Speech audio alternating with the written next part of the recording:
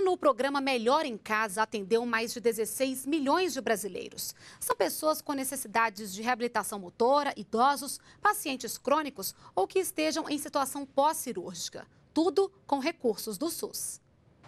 Nesse primeiro ano de programa Melhor em Casa, 22 estados já passaram a receber atendimento de equipes de apoio e visitas domiciliares. Quem nos dá mais detalhes sobre esse assunto é Eder Pinto, que é diretor de atenção básica do Ministério da Saúde.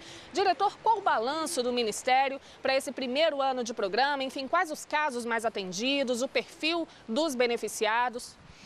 É, nós temos um, uma avaliação muito positiva desse primeiro ano do Melhor em Casa, tanto pela adesão dos estados e municípios, né, nós temos 22 estados, quase 70 municípios já com as equipes em funcionamento, e o perfil desse atendimento é um perfil bem variado um em cada cinco pacientes, eles têm problemas relacionados com AVC, que as pessoas chamam de derrame, sequelas de AVC, atendimento, mas nós temos fraturas, fratura de fêmur, problemas respiratórios, problemas neurológicos, então é uma quantidade muito grande de atendimento que antes a pessoa precisava ficar no hospital e agora ela pode ficar no conforto de sua casa. E essas chamadas internações domiciliares, quantas são e geram também economia tanto para o Ministério quanto para os cofres dos estados?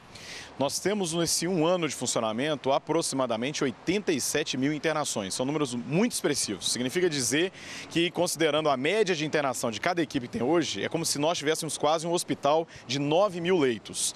Então, é um avanço muito importante e, além de ter mais qualidade para o usuário, deixá-lo perto de sua casa, no conforto de sua família, livre de infecções hospitalares, a economia são os raros casos que a gente tem muito mais qualidade que a economia. Estudos mostram que a economia vai de 3 a 4 vezes. É mais barato fazer a internação domiciliar do que a internação no hospital. E como os municípios interessados ainda podem aderir ao programa Melhor em Casa?